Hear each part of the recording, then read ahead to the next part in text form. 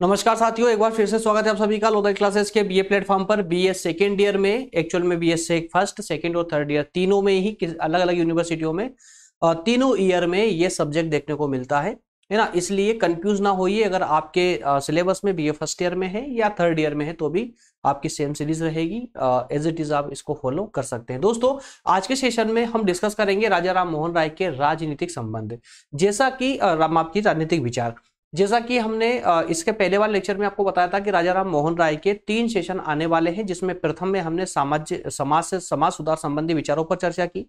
इसके बाद में आज के सेशन में हम राजनीतिक संबंध, राजनीतिक राजनीतिक संबंधी विचारों पर चर्चा कर रहे हैं और नेक्स्ट सेशन में हम शिक्षा और धर्म संबंधी विचारों पर बात करेंगे। क्लियर है ना?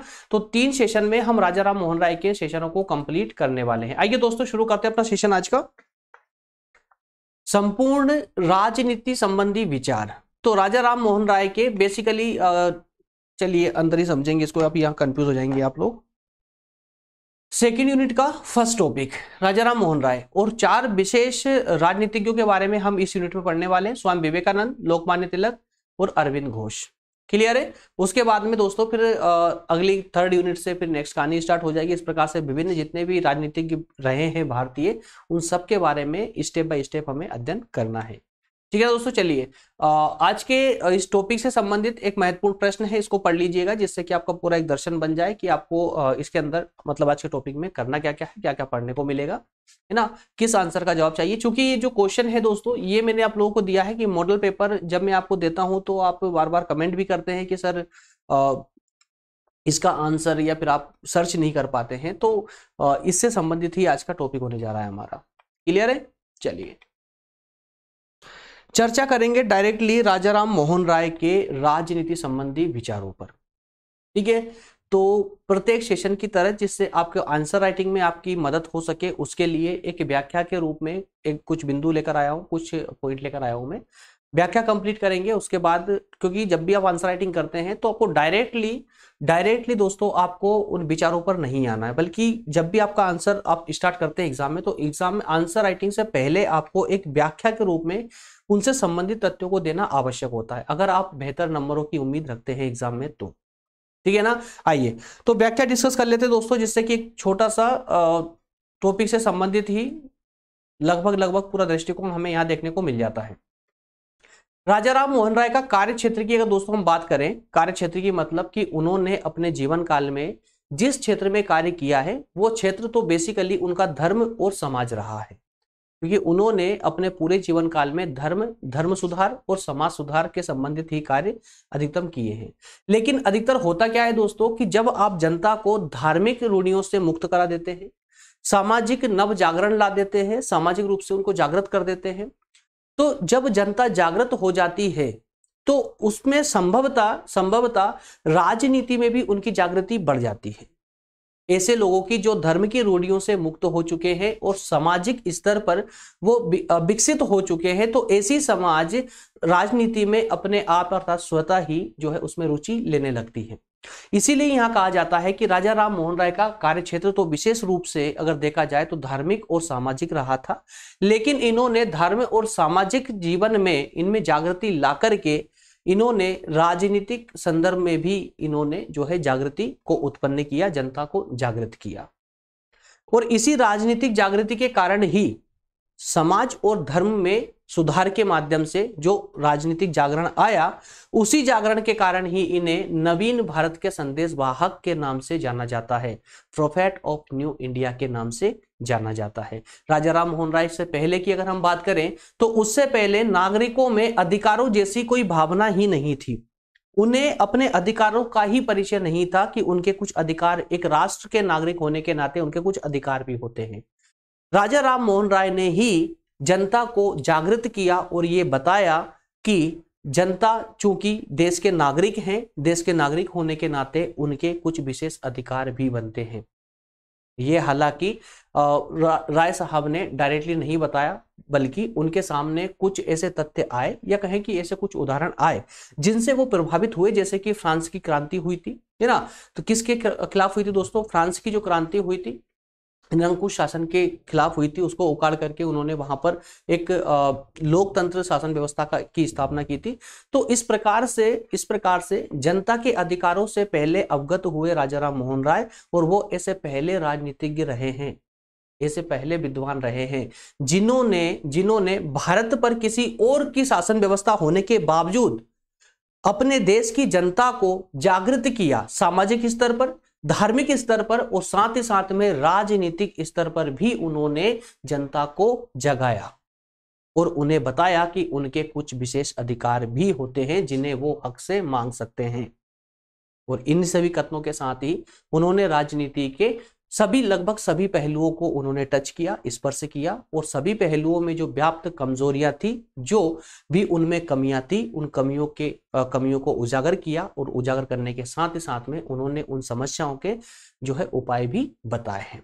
ऐसा नहीं है कि सिर्फ़ उन्होंने समस्याएँ बताई है, बल्कि समस्याओं के साथ ही साथ उन्होंने उपाय भी बताए हैं। तो इस प्रकार से दोस्तों, आपका एक व्याख्या अर्थात कि एक सिंपल सा पूरे टॉपिक से संबंधित या कहेंगे उनके विचारों से संबंधित एक आपका तथ्य कंप्लीट यहाँ से हो जाता है। क्लियर है? तो उम्मीद करता हूँ, व्यवहारिक रूप से सुनने के बाद में आपको थ्योरिटिकल पार्ट पढ़ने में बिल्कुल भी प्रॉब्लम नहीं आएगी, आसानी से ये समझ आएगा। क्लियर है ना? चलिए, अब आगे बढ़ते हैं दोस्तों। अब हम डायरेक्टली मूव करेंगे राजा राम मोहन राय के राजनीति संबंधी विचारों पर, चूँकि यहाँ पर एक मिसप्रिंट हुआ है। तो इस पर आप लोग ध्यान न दें, इस पर ध्यान न दें, सामाजिक ना होकर के राजनीतिक है पिछली स्लाइड से ही इसको हटाया नहीं गया है चेंज नहीं किया, बल्कि वो सामाजिक ही आ चुका है ना। तो माइनर सी मिस्टेक होती है मिसप्रिंट होता है तो उस पर ध्यान ना दे करके जो आपके काम की वस्तु है ना, उसको निकालने का प्रयास कीजिएगा। ठीक है? आइए, बात करते हैं राजा राम मोहन राय के। राजनीति संबंधी विचारों पर तो कुछ बिंदुओं के माध्यम से दोस्तों हम इनके विचारों को स्पष्ट करेंगे। सबसे पहले हम बात करेंगे कि राजा राम मोहन राय स्वतंत्रता को कितना महत्व देते थे। सबसे पहले, उसके बाद हम बात करेंगे कि इन्होंने कौन से शासन व्यवस्था का समर्थन किया है और किस शासन व्यवस्था का विरोध किया है, अर्थात निरंकुश शासन व्यवस्था का हमेशा इन्होंने विरोध किया है।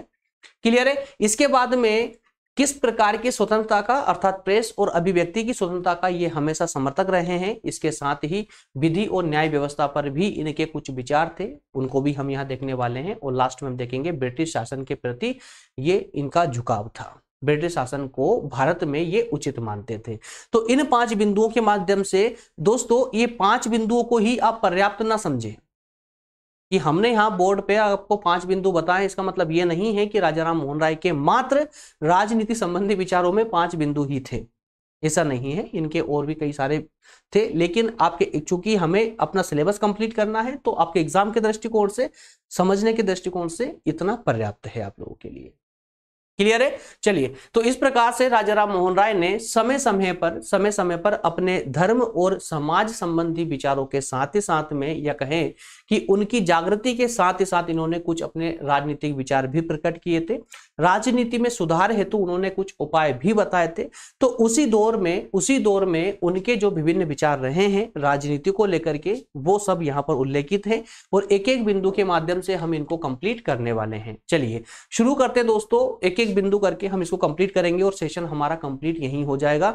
मैं सेशन को स्टार्ट करूँ, उससे पहले मैं आप लोगों से एक बार फिर से पूछना चाहता हूँ। कभी कभी डाउट होता है तो मैं आपसे पूछने के लिए मजबूर हो जाता हूँ। जानता हूँ आप लोगों का समय बहुत कीमती होता है है ना? मुझसे भी ज़्यादा कीमती आप लोगों का समय होता है पढ़ने में। आ, लेकिन ज़रूरी है दोस्तों ये बताइए मुझे कि सबसे पहले तो कि कुछ कमेंट हमेशा आती हुई रहती है कुछ कुछ कमेंटें आती ज़्यादा नहीं आती लेकिन मैं चाहता हूँ कि सब बच्चे जो भी मुझे फॉलो करते हैं वो बिल्कुल निश्चिंत होकर के फॉलो करें। एकदम क्लियर कोई डाउट नहीं होना चाहिए उनके अंदर कोई क्वेश्चन नहीं होना चाहिए। क्वेश्चन हो तो टॉपिक से संबंधित होना चाहिए है ना? आ, कुछ आ, कमेंट अब भी आती है मेरे पास कि सर आपके जो लेक्चर होते हैं बहुत लंबे चले जाते हैं। इनको थोड़ा सा शॉर्ट करने का प्रयास करें। मेरे प्यारे दोस्तों, मैं आप लोगों से वही कहूँगा कि अगर इनको मैंने शॉर्ट करने का प्रयास किया तो फिर वो पढ़ाई के साथ समझौता हो जाएगा। पढ़ाई के साथ समझौता हो जाएगा। और संभवतः यूट्यूब पर आपको कई सारे ऐसे लेक्चर देखने को मिल जाएँगे, जो 10 या 15 मिनट के लेक्चर होंगे। मैं बिल्कुल ये नहीं बोलता कि वहाँ पर ज्ञान नहीं है। ज्ञान पर हर एक जगह ज्ञान है। हर एक स्थान पर ज्ञान मिलेगा आपको, चाहे वो दो मिनट का ही लेक्चर क्यों ना हो। है ना? क्योंकि कोई टीचर अगर लेक्चर दे रहा है आपको, पढ़ाने आया है तो वो कुछ संभवतः कुछ ना कुछ पढ़ा कर ही जाएगा, चाहे वो दो मिनट के लिए पढ़ाए, पाँच मिनट या दस मिनट के लिए। मैं उसका बिल्कुल विरोध नहीं करता हूँ। लेकिन मेरा मानना यह है कि जब टॉपिक की लेंथ हमें बताती है कि हमें कितने समय लेक्चर चलाना है तो आप लोग मुझे बताइएगा कमेंट करके, क्या सेशन को वाकई में शॉर्ट करना चाहिए? है ना, पंद्रह बीस मिनट का सेशन करना चाहिए या फिर जो हमारी लेंथ चल रही है, कोई सेशन पच्चीस मिनट का भी होता है, कोई सेशन पैंतीस मिनट का भी होता है, कोई चालीस मिनट, पचास मिनट का भी हो जाता है, कोई कभी कभी एक घंटे भी चल जाती है क्लासेस तो मुझे बताइएगा क्योंकि एक विचार कीजिए, उसके बाद कमेंट करना दोस्तों आप लोग। एक विचार ये करना कि अगर आप कोई कोई पेड क्लासेस ज्वाइन करते हैं तो क्या पेड क्लासेस में भी आपका क्वेश्चन यही होता है कि आपकी कमेंट यही होती है कि, सर शॉर्ट में पढ़ाइए? पेड क्लासेस में। पेड क्लासेस में आप बिल्कुल नहीं चाहेंगे कि आप शॉर्ट में पढ़ाए। वहाँ पर आप चाहेंगे कि, सर, जितना भी विस्तार हो सकता पूरा विस्तार दीजिए। क्यों? क्योंकि हमने पैसा दिया है आपको। है ना? फ्री में आए हैं, यहाँ फ्री में पढ़ा रहे हैं आप लोगों को तो थोड़ी मेंटलिटी आप लोगों की अलग रहती है। मैं सब समझता हूँ चीज़ों को। ज़्यादा यहाँ पर फ्री पढ़ाने वाले टीचरों को ज़्यादा रिस्पेक्ट नहीं दी जाती है। वो छोड़ी वो एक अलग बात है ना? आप, बाकी आप सब समझदार हैं। ये बात फिर कभी करेंगे। हालाँकि बात तो करनी है आप लोगों से बट ज़्यादा टाइम ना होते हुए भी एग्ज़ाम का दौर चल रहा है आपका तो इसलिए टाइम नहीं लूँगा। शुरू करते हैं सेशन को। मुझे कमेंट करके ज़रूर बताइएगा आप लोग कि सेशन जैसा चल रहा है, वैसे ही कंटिन्यू किया जाए या फिर थोड़ा सा उसमें टाइम में कुछ चेंज किया जाए, क्योंकि शॉर्ट करेंगे तो संभव था आपका डेटा शॉर्ट हो जाएगा और सेशन काफ़ी छोटा होने लगेगा। ठीक है? आइए। व्यक्ति की स्वतंत्रता पर विचार। सबसे पहला बिंदु है, सबसे पहला पॉइंट है हमारा व्यक्ति की स्वतंत्रता पर विचार। राजा राम मोहन राय ने अपने चिंतन के दौरान, सामाजिक और धार्मिक चिंतन के दौरान ही जब जनता को जागृत किया तो जनता जागृत होने से उनके अंदर अधिकारों की आकांक्षाएँ प्रकट होने लगी। जनता के अंदर अधिकारों की आकांक्षाएँ प्रकट होने लगी। और संभवतः राजा राम मोहन राय भी यही चाहते थे कि जनता जागृत हो और अपने अधिकारों की मांग भी करे। इसी दौर में दोस्तों जनता के द्वारा जब मांग होने लगी तो उसी उसी मांग को और प्रबल करने के लिए ब्रिटिश सरकार के समक्ष उस मांग को स्वतंत्रता की मांग को और प्रबल करने के लिए एक सशक्त नेता की तरह जनता के आगे रा, राय साहब खड़े हुए थे। इसी दौर में उन्होंने अधिकार और स्वतंत्रताओं में उन्होंने कुछ विशेष रुचि दिखाई और रुचि दिखाते हुए उन्होंने व्यक्ति की स्वतंत्रताओं को भी नैतिक आधार पर समर्थन किया। किस आधार पर? नैतिक आधार पर। व्यक्ति की प्रत्येक स्वतंत्रता को, जिस स्वतंत्रता की भी उन्होंने बात की है, जैसे कि जीवन के अधिकार की बात की है संपत्ति के अधिकार की बात की है है ना? अभिव्यक्ति, अपने विचारों को अभिव्यक्त करने की स्वतंत्रता की बात की है या कहे कि धर्म को लेकर के स्वतंत्रता की बात की तो जितनी भी स्वतंत्रता, जितने भी अधिकारों की उन्होंने बात की है, उन सभी अधिकारों को इन्होंने नैतिक आधार पर स्वीकार किया है। और इसी आधार पर उन्होंने ब्रिटिश सरकार के समक्ष भी अपनी अर्थात जनता की मांगों को रखा भी है और उसको लेकर के संभवतः उन्होंने उसका परिणाम भी साबित किया है, परिणाम भी ला करके दिया है। और कह सकते हैं कि इनके चिंतन के बाद ही या कहें कि इनके प्रयासों के प्रयासों के बाद ही भारत में एक नव जागरण की धारा प्रारंभ होती है। क्लियर है? तो इस प्रकार से हम कह सकते हैं कि व्यक्ति की स्वतंत्रताओं पर उन्होंने अपने विचार व्यक्त किए हैं और विचारों के अंतर्गत ही उन्हें, उन्होंने व्यक्ति की अधिकार और स्वतंत्रता, व्यक्ति के अधिकार और स्वतंत्रताओं को विशेष महत्व दिया है और इस महत्व किस आधार पर दिया उन्होंने? तो नैतिकता के आधार पर दिया है। कॉम्पिटेटिव एग्ज़ाम वाले स्टूडेंट विशेषकर याद रखे, ऐसे क्वेश्चन आते हैं आपके एग्ज़ाम में और आप फिर कर नहीं पाते हो, छोड़ के आ जाते हो क्योंकि इतनी गहराई से नहीं पढ़ पाते हो। राजा राम मोहन राय ने अधिकार, व्यक्ति की अधिकार और स्वतंत्रताओं को किस आधार पर मान्यता दी थी तो नैतिक आधार पर मान्यता दी थी, याद रखिएगा। नैतिक आधार पर मान्यता दी थी, ठीक है ना? तो जीवन के अधिकार, संपत्ति का अधिकार, अभिव्यक्ति के स्वतंत्रता या धार्मिक स्वतंत्रता, इन सब का उन्होंने खुलकर समर्थन किया था। नेक्स्ट है आपके सामने दोस्तों, निरंकुश शासन का विरोध। तो राजा राम मोहन राय ने, राजा राम मोहन राय प्रारंभ से ही, शुरू से ही, इन्होंने हमेशा निरंकुश शासन का विरोध किया है और लोकतंत्र को स्वीकार किया है, लेकिन पूर्ण लोकतंत्र को नहीं। याद रखिएगा, यहाँ पर भी ये बिंदु है। यहाँ पर भी आपसे कॉम्पिटेटिव एग्ज़ाम वाले विशेषकर याद रखें। पूछा जा सकता है। राजा राम मोहन राय, राजा राम मोहन राय पूर्ण लोकतंत्र को स्वीकार करते थे। कथन सत्य है या असत्य है या दोनों है या दोनों नहीं, जो भी पूछा जा सकता है आपसे तो विशेषकर याद रखिए, ये पूर्ण लोकतंत्र को स्वीकार नहीं करते थे। पूर्ण लोकतंत्र को स्वीकार नहीं करते थे। याद रखिएगा आप लोग, ठीक है ना? तो राय किसी प्रकार के निरंकुश और दमनकारी शासन के, सभी प्रकार के जितने भी निरंकुश शासन व्यवस्थाएँ थी या दमनकारी शासन व्यवस्थाएँ थी, उनके विरोधी थे। वे अति शक्तिशाली राजतंत्र, अधिनायक तंत्र और अनुदार कुलीन तंत्र के घोर विरोधी थे। क्यों थे? क्योंकि उन्हें इस बात का ये बात समझ आ चुकी थी कि जो शक्तिशाली राजतंत्र है या अधिनायक तंत्र है दमनकारी निरंकुश शासन व्यवस्था जिस राज्य में भी है, वो आम नागरिकों के लिए बड़ी ही घातक साबित होती है। आम नागरिकों को उनके अधिकारों से उन्हें वंचित कर देती है। इस कारण से ये उनके विरोधी थे। और साथ ही साथ में ये एक फ्रांस की क्रांति से बहुत ज़्यादा प्रभावित थे दोस्तों। फ्रांस की क्रांति से बहुत ज़्यादा प्रभावित थे। फ्रांस में जो उदारवादी क्रांति हुई थी सत्रह में 1779 में जो उदारवादी क्रांति हुई थी, उस उदारवादी क्रांति से ये विशेष प्रभावित थे। क्यों? क्योंकि निरंकुश राजतंत्र को उकाड़ने वाली वो क्रांति थी। उकाड़ने वाली, अर्थात की उसको समाप्त, निरंकुश राजतंत्र को, अर्थात दमनकारी शासन व्यवस्था को समाप्त करने वाली वो क्रांति थी। क्रांति के बाद में जिस शासन व्यवस्था की स्थापना वहाँ पर होती है, उसके माध्यम से जनता को संपूर्ण अधिकार दिए जाते हैं। तो निरंकुश शासन व्यवस्था, निरंकुश शासन व्यवस्था का विरोध करने के साथ ही साथ इन्होंने लोकतांत्रिक और संवैधानिक शासन का पूर्ण समर्थन किया था। किसका? लोकतांत्रिक शासन व्यवस्था का और संवैधानिक शासन व्यवस्था का पूर्ण समर्थन किया था। हालाँकि राय साहब पूर्ण लोकतंत्र के सिद्धांत को स्वीकार नहीं करते थे, किंतु वे सभी नागरिकों की जो विशेष स्वतंत्रताएँ थी या विशेष अधिकार थे, जो कानून थे, उनका पूरी तरह वे समर्थन करते थे। आई होप क्लियर होता चल रहा होगा दोस्तों। ऐसे स्टोरी पढ़ने का प्रयास करें, रटने का कुछ भी ज़रूरत नहीं है। मैंने सभी पॉइंटों को हाईलाइट किया हुआ है।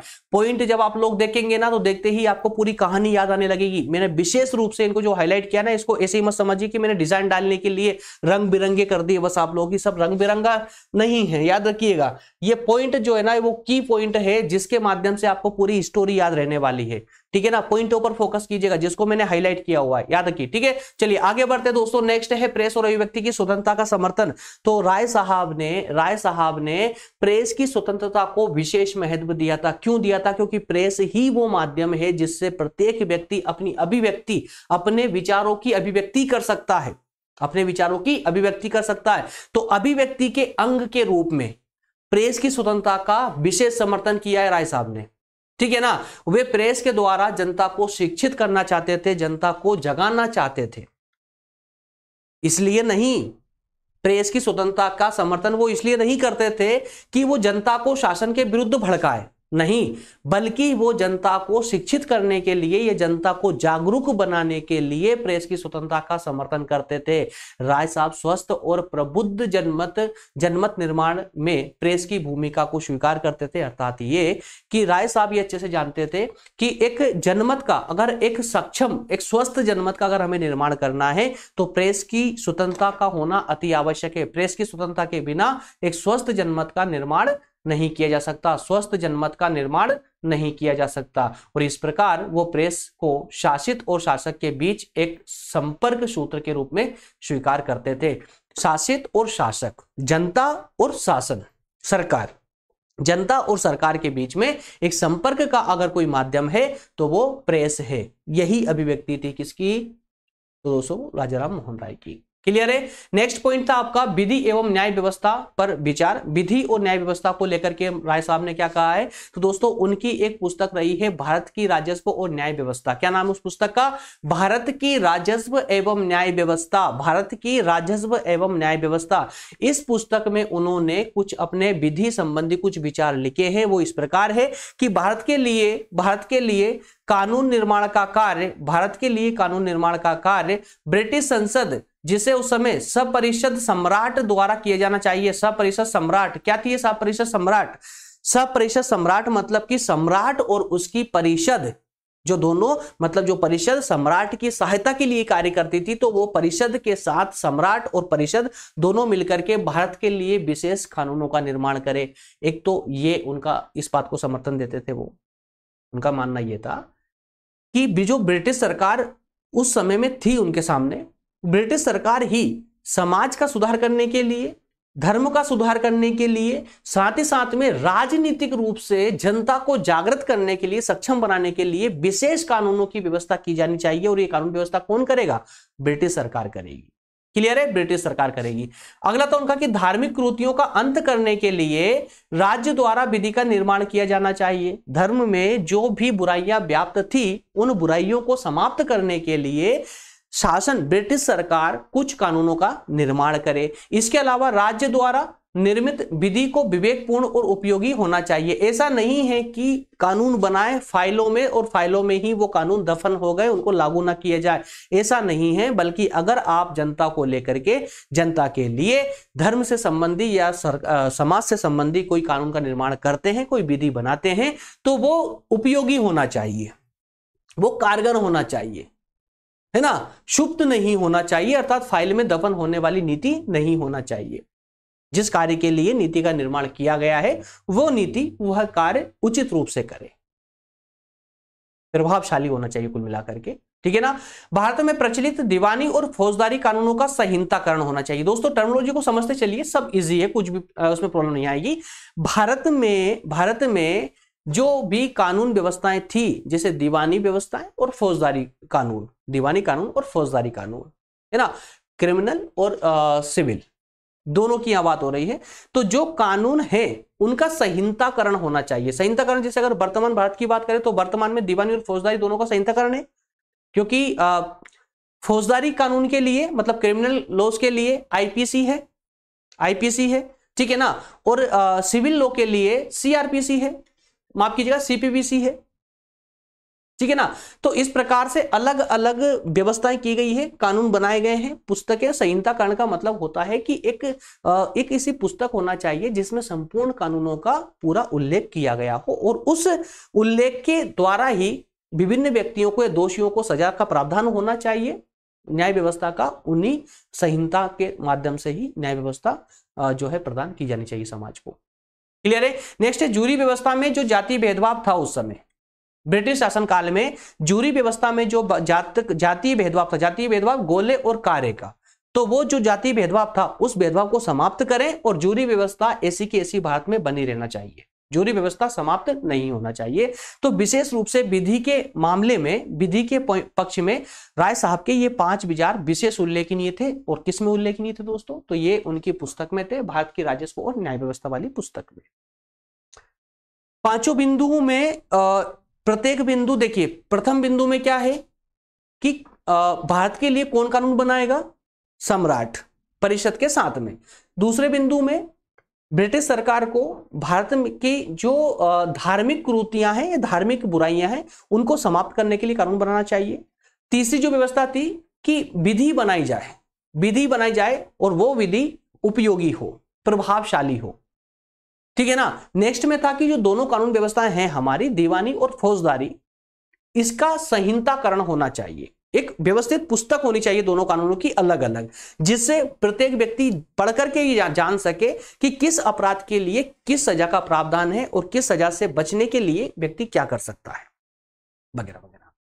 ठीक है, जूरी व्यवस्था नेक्स्ट में है कि जूरी व्यवस्था का प्रावधान भी भारत में होना चाहिए, जूरी व्यवस्था का। लेकिन वर्तमान में अर्थात कि उनके समय में, तत्काल समय में जो जूरी व्यवस्था में जो बुराइयाँ थी, अर्थात कि जाति भेदभाव था, उस भेदभाव को समाप्त किया जाना चाहिए। उसके बाद जूरी व्यवस्था को कंटिन्यू रखा जाना चाहिए। क्लियर है? इसके बाद में नेक्स्ट है दोस्तों, ये मिसप्रिंट है। मिसप्रिंट है पॉइंट नंबर टेन ये पाँच है। छोटी छोटी गलतियों पर ध्यान ना दे। आप विशेष रूप से पढ़ाई पर ध्यान देंगे, ज़्यादा बेहतर होगा। शासन के प्रति ब्रिटिश शासन के प्रति राय साहब का झुकाव। अब यहाँ पर आपको पढ़ करके थोड़ा सा ऐसा लगेगा कि ये क्या सुन रहे हैं हम। कि राय साहब इतने विद्वान होने के बाद, इतने महान व्यक्ति होने के बाद भी ब्रिटिश सरकार को सपोर्ट करते थे। जी हाँ ब्रिटिश सरकार को सपोर्ट करते थे। लेकिन जब आप इनके बारे में पूरी तरह पढ़ेंगे तो किस बिंदु को लेकर के, किस उद्देश्य से ये ब्रिटिश शासन व्यवस्था को सपोर्ट करते थे, उनकी तरफ़ झुकाव था इनका तो आप उसके बारे में भली भाती रूप से जान पाएँगे, जब इनको आप विस्तार से पढ़ेंगे। बिना विस्तार दिए कुछ भी कहना उचित नहीं होगा। इनके विचारों को जाने बिना उचित नहीं होगा, क्योंकि अभी हम एग्ज़ाम के दृष्टिकोण से पढ़ रहे हैं है ना एग्ज़ाम के दृष्टिकोण से पढ़ रहे जितना डेटा हमारे लिए आवश्यक है, हम उसकी बात करते हैं। तो यहाँ पर देखते हैं कि राय साहब जो है, राय साहब ब्रिटिश शासन को, ब्रिटिश शासन के विशेष प्रशंसनीय थे। तत्कालीन समय में राजा राम मोहन राय ब्रिटिश ब्रिटिश सरकार के, भारत में ब्रिटिश सरकार के विशेष प्रशंसनीय थे। वो उनका विरोध नहीं करते थे। वे तत्कालीन ब्रिटिश शासन को मध्य युग अंधकार में डूबे हुए भारत के लिए ईश्वर का वरदान मानते थे। क्या कहा मैंने? ब्रिटिश सरकार को मध्य युग का जो अंधकार था उस समय, उस अंधकार में भारत डूबा हुआ था और उस अंधकार से निकालकर बाहर लाने वाले कौन थे दोस्तों? तो ब्रिटिश थे, ब्रिटिश सरकार थी। इसीलिए राजा राम मोहन राय इस अंधकार में डूबे हुए भारत को बाहर निकालने निकालने वाले ईश्वर के अवतार के रूप में ब्रिटिश सरकार को मानते थे ये। इस प्रकार से ब्रिटिश सरकार की ये काफ़ी तारीफें भी किया करते थे। उनके ब्रिटिश चरित्र, न्याय, शिक्षा, इसमें गहरी आस्था थी। वे मानते थे कि ब्रिटिश संपर्क भारत के बहुपक्षीय उत्थान में सहायक हो सकते। बहुपक्षीय उत्थान का मतलब क्या हुआ?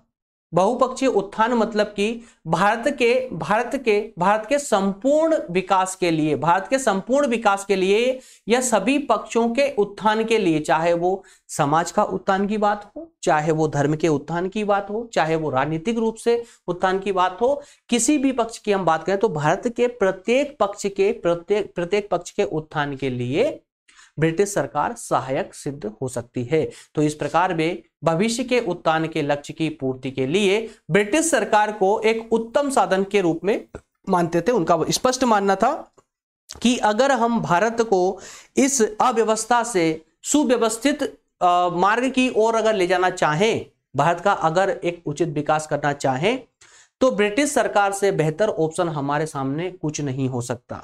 इसलिए ब्रिटिश सरकार का समर्थन करते हुए हमें हमारी समाज की विभिन्न बुराइयों को समाप्त करने का प्रयास करना चाहिए। और जैसे ही समाज इन बुराइयों से बाहर आ जाएगा तो वैसे ही समाज का अपने आप देश पर अधिकार हो जाएगा। ब्रिटिश सरकार अपने आप दुम दबा के भाग जाएगी। लेकिन ब्रिटिश से लड़ने से पहले ब्रिटिश सरकार से लड़ने से पहले उसका विरोध करने से पहले हमें उसका विरोध करने के लायक बनना होगा। अर्थात जिस धार्मिक रूढ़ियों में हम फंसे हुए हैं, जिस समाज की अव्यवस्थाओं में हम उलझे हुए हैं, उन अव्यवस्थाओं से हमें बाहर निकलना होगा, पहले हमें जागृत होना होगा, हमें अपने आप को इस प्रकार से सक्षम बनाना होगा कि हम ब्रिटिश सरकार का विरोध कर सकें और संपूर्ण शासन व्यवस्था का संचालन अपने हाथों में लेकर के और व्यवस्थित रूप से प्रत्येक व्यक्ति को अधिकार देकर के हम शासन व्यवस्था व्यवस्था का संचालन कर सके।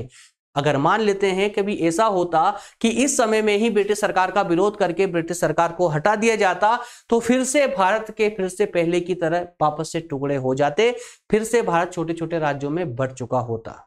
एक अखंड भारत जैसा कि वर्तमान में है, ऐसा भारत फिर कभी देखने को नहीं मिलता। अगर उस समय राजा राम मोहन राय ब्रिटिश सरकार का विरोध करते और संभवतः अगर उनसे आज़ादी भी प्राप्त कर लेते तो उस समय भारत में ऐसा कोई नेतृत्व नहीं था जो संपूर्ण भारत को एक सूत्र में बाँध सके। ठीक है? तो उन्होंने बहुत आगे का सोचने के बाद ही इस प्रकार से उन्होंने ब्रिटिश सरकार का समर्थन किया था। आई होप कि ये पूरा डिस्कशन दोस्तों आप लोगों को अच्छे से समझ आया होगा। मैंने आपको प्रथम में स्टार्टिंग में ही बताया था कि सामाजिक और राजनीतिक विचारों पर सेपरेट सेशन लेने का उद्देश्य हमारा ये है कि एग्ज़ाम में, आपकी परीक्षा में भी आपसे इसी प्रकार से सेपरेट प्रश्न पूछे जाते हैं। इस कारण से आपका टॉपिक विशिष्ट रूप, व्यवस्थित रूप से चलेगा तो आपको प्रॉब्लम नहीं आएगी, है ना? और नेक्स्ट सेशन होगा हमारा धर्म और राज धर्म और शिक्षा को संबंध में उनके क्या विचार रहे हैं उसको लेकर के होगा। अगर हम निष्कर्ष की बात करें तो राजा राम मोहन राय के सामाजिक और राजनीतिक विचारों के अध्ययन के बाद हम ये स्पष्ट रूप से कह सकते हैं कि वास्तव में पुनर्जागरण के प्रवर्तक या फिर अग्रदूत के रूप में राजा राम मोहन राय को जाना जाता था।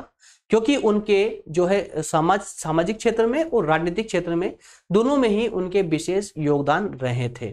या कहें कि उस युग में, उस युग में राजा राम मोहन राय से बेहतर विचार और किसी, विचार और प्रयास जो थे, विशेष प्रयास थे, वो ऐसे और किसी ने, उससे पहले किसी ने इसे प्रयास नहीं किए।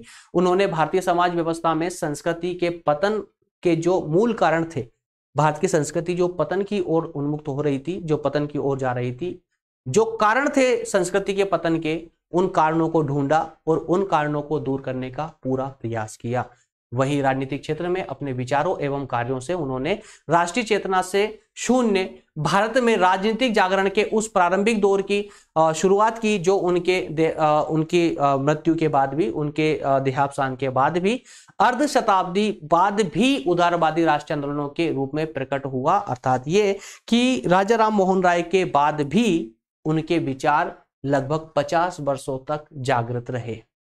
और 50 वर्षों बाद जो क्रांतियाँ हुई थी बाद में, उदार राष्ट्रवादी जो आंदोलन हुए थे भारत में, उन आंदोलनों में इनके ही सिद्धांतों का उचित रूप से पालन किया गया था। इसलिए अंतिम रूप से हम इसी निष्कर्ष पर पहुँचते हैं कि राजा राम मोहन राय के प्रत्येक क्षेत्र में विशेष योगदान रहा था, अर्थात उन्हें भारत के पुनर् भारत के अग्रदूत के रूप में जो जाना जाता है, वो वास्तविक रूप से सत्य प्रतीत होता है इनके योगदानों को देखते हुए। क्लियर दोस्तों? तो उम्मीद करता हूँ कि ये सेशन आपको कंप्लीटली राजा राम मोहन राय का सेशन अभी तक आपका पूरा क्लियर होता चल रहा होगा, कोई डाउट नहीं होगा, है ना? थोड़ा सा जो है थोड़ी सी मैं चर्चा तो फिर से करना चाहूँगा क्योंकि आज कुछ ज़्यादा ही चल रहा है मन के अंदर। दोस्तों, अगर कोई टीचर आपको फ्री एजुकेशन दे रहा है ना तो इसका मतलब ये बिल्कुल भी ना मत समझ लीजिएगा कि फ्री पढ़ाने वाले का कोई ना? समझ रहे हैं ना मैं क्या बोलना चाहता हूँ? यार वो एक्चुअल में शब्द तो ऐसे हैं कि जिनका मैं प्रयोग कभी करता भी नहीं हूँ, करना भी नहीं चाहता हूँ। तो थोड़ी सी भावनाओं को भी समझे। अगर कोई टीचर आप लोगों को इस तरह से पसीने बहा करके, सिर्फ़ मैं अपनी बात नहीं कर रहा हूँ दोस्तों यूट्यूब पर बहुत सारे टीचर पूरी ईमानदारी से पढ़ाते हैं आप लोगों को, लेकिन फ्री पढ़ाने के कारण उनकी कोई रिस्पेक्ट नहीं होती है। ना? एक बात का मुझे जवाब दीजिए, क्या टीचर का परिवार नहीं होता? क्या टीचर को पैसों की आवश्यकता नहीं होती? और इसी कारण से जो मैं समझ पा रहा हूँ, इसी कारण से मैं बोल सकता हूँ कि सभी टीचर सभी teacher free of cost classes क्यों प्रोवाइड नहीं करते? अन्यथा यूट्यूब एक ऐसा प्लेटफॉर्म है, जहाँ पर लगभग कई टीचर आते और आकर के आपको फ्री भी पढ़ाते, तब भी उनका घर चलता रहता। उनके पास इतनी एक हैंडसम इनकम आती रहती। यूट्यूब से इतना कमा लेते हैं कि आप लोगों से पैसे लेने की आवश्यकता नहीं पड़ती। लेकिन प्रॉब्लम कब होती है कि जब आप लोग सपोर्ट नहीं करते, जब आप लोग, वो पढ़ाने वाले टीचर की ही रिस्पेक्ट नहीं करते। जब आप, क्योंकि देखिए, चाहे आपसे पेमेंट ले या ना ले, आपका सपोर्ट दोनों रूप से चाहिए। अगर आपसे बिना पेमेंट लिए कोई टीचर पढ़ा रहा है ना तो उसको सपोर्ट कीजिए। आर्थिक रूप से नहीं। यार शेयर लाइक सब्सक्राइब ये सब में आप उसको जो है सपोर्ट कीजिए। वो, आपके शेयर से वो आगे बढ़ेगा। मैक्सिमम स्टूडेंट होंगे। तो यूट्यूब उसको उतना कमा के दे देगा, आपकी ज़रूरत ही नहीं पड़ेगी। लेकिन जब कोई टीचर निराश हो जाता है ना तो दोस्तों, आपकी स्टडी वकी वहीं रुक जाएगी। थोड़ा महत्व देना सीखे। क्लियर है? चलिए, बाकी बातें फिर से होती रहेगी। सिर्फ़ भावनाओं को समझते हुए आगे बढ़े, है ना? सभी को एक दूसरे के सपोर्ट की आवश्यकता होती है दोस्तों। आज मैं फ्री ऑफ़ कॉस्ट आप लोगों को पढ़ा रहा हूँ तो कहीं ना कहीं उम्मीद है कि आप लोगों के लिए मैं इतनी मेहनत करता हूँ तो शायद आप लोग मुझे सपोर्ट करेंगे, आप एज इट इज़ बने रहेंगे मेरे साथ में। लेकिन जब आप लोग पूरी तरह से सुप्त हो जाते हैं ना, एक सुप्त ज्वालामुखी की तरह तो थोड़ी प्रॉब्लम होती है। अरे जागृत रहिए यार एक्टिव रहिए। आप लोगों के लिए कोई व्यक्ति अगर इतनी मेहनत करके आ रहा है free of cost classes provide कर रहा है तो उसको इतना नकारा मत समझिए। है ना? हर एक टीचर यहाँ पर आप लोग से कुछ उम्मीद लेकर आता है। पैसों की उम्मीद नहीं, है ना? सपोर्ट कीजिए उसको। सपोर्ट करेंगे तो सामने वाला खुश होकर के आपको और बेहतर तरीके से एजुकेशन देने का प्रयास करेगा। लेकिन अगर यही कंडीशन बनी रही, अगर इसी प्रकार से चलता रहा तो मैं गारंटी के साथ बोल सकता हूँ दोस्तों यूट्यूब पर एक भी टीचर आपको, एक ईमानदार, कोई भी, एक भी ईमानदार टीचर आपको फ्री ऑफ़ कॉस्ट शिक्षा नहीं देगा। कोई भी नहीं देगा। जिस तरह से आप चुपचाप निकल जाते हो क्लास से, उसी तरह से टीचर भी चुपचाप निकल देंगे है ना? वो देखते ही देखते मोबाइल ऐप बन जाएगी और पेड क्लासेस में कन्वर्ट हो जाएगी। लोदाई क्लासेस प्लेटफॉर्म पूरे शत प्रतिशत पूरी उम्मीद से free of cost free education programme के रूप में मैंने इसको लॉन्च किया था। लेकिन कभी कभी आप लोगों को देख करके, आप लोगों के इस प्रकार का जो इग्नोर करने का तरीका है ना, उसको देख करके मुझे कभी कभी डर लगता है। कहीं ऐसा ना हो कि भविष्य में इस प्लेटफॉर्म को पेड करना पड़े मुझे। आज भी मेरी भावना वही है कि मैं आप लोगों को फ्री ऑफ़ कॉस्ट ही पढ़ाऊं। किसी से कोई चार्जेस ना लू। लेकिन अगर आप लोगों का रवैया यही बना रहा तो फिर शायद मुझे आगे अपने ही इन डिसीजनों को चेंज करना पड़े। कुछ चार्जेबल बनाना पड़े। इसलिए यार प्लीज़ मजबूर मत कीजिए तो सपोर्ट करते रहिए। कोई व्यक्ति नहीं बोलता तो इसका मतलब ये नहीं है कि बस वो उसको खाने की आवश्यकता नहीं उसको पैसे की आवश्यकता नहीं होगी, उसको घर चलाने के लिए बस आप लोगों को पढ़ा दिया, खुश हो गया तो खुशी से पेट नहीं भरता दोस्त। है ना? उसको भी कुछ ज़रूरत पड़ती है। तो मैं आप लोगों से ये नहीं बोलता कि आप लोग आर्थिक रूप से सपोर्ट कीजिए। लेकिन आप लोग जो जितना कर सकते हो ना, उतना तो कीजिए यार। ठीक है ना? समझते हुए आगे बढ़े, समझते हुए चले। ठीक है ना? फ्री एजुकेशन प्रोग्राम आप लोगों को पूरी पूरी पूरी ईमानदारी से देने का प्रयास करता हूँ मैं। और वो ईमानदारी शायद आप लोगों को दिख रही होगी। चलिए मिलेंगे नेक्स्ट सेशन में दोस्तों। थैंक यू इतना टाइम देने